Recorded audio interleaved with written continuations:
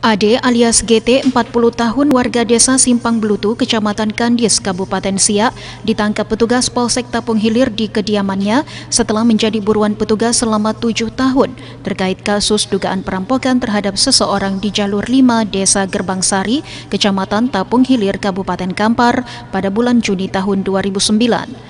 Dalam aksinya tersebut, tersangka bersama temannya berinisial HR yang saat ini masih DPO sempat menodongkan senjata api ke wajah korban dan berhasil menguras harta korban berupa uang tunai sebesar 8,5 juta rupiah dan perhiasan emas sebanyak 25 emas. Dari pengakuan tersangka AD, dirinya kabur ke daerah Sumatera Utara dan menetap selama hampir dua tahun. Setelah merasa aman, ia kembali pulang dan tinggal di wilayah Kandis. Tersangka juga mengakui bahwa senjata api yang mereka gunakan tersebut merupakan milik temannya yang saat ini masih DPO. Waktu melakukan perampokan itu tahun berapa? 2009. Itu mas apa kan ini korban? Saya pukul, saya ikat lehernya. Itu pakai apa mas pukul?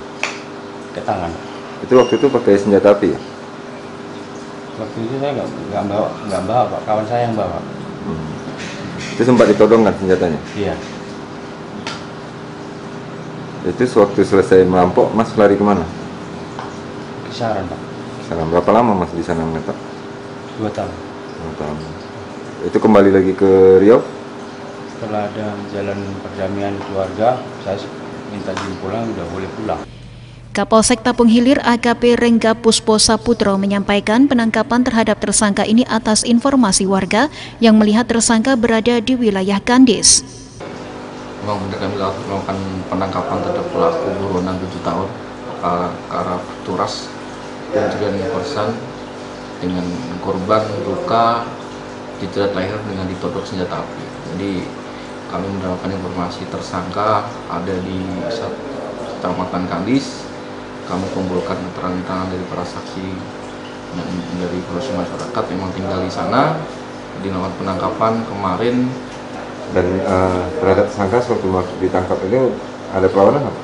dari tersangka tidak melakukan perlawanan karena pada saat itu tersangka harus pulang kerja dan kami sudah memberitahu kepada ketua RT dan kami melakukan penangkapan tersangka tidak melakukan perlawanan dan langsung dibawa ke Polsek Tabungan. Tersangka akan dijerat dengan pasal 365 KUH pidana dengan ancaman di atas 5 tahun penjara. Sedangkan untuk tersangka HR, polisi menghimbau agar segera menyerahkan diri karena saat ini petugas telah mengetahui di mana lokasi persembunyian tersangka tersebut. Anto Badai melaporkan.